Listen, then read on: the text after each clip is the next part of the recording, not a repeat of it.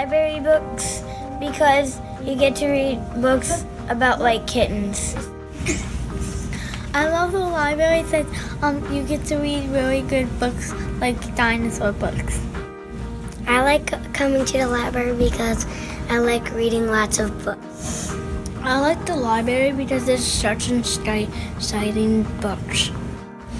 I like the library because I because I like enjoying the books. Yeah.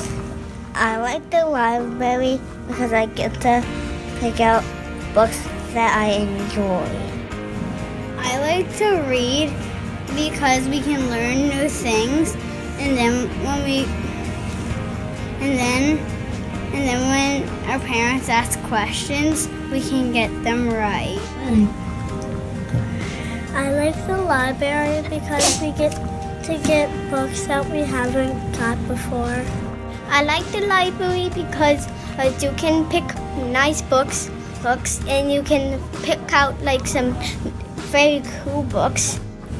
I like the library because there might be there might be books that are maybe that are maybe like in a movie. I like coming to the library because I like that there is like a thousand books.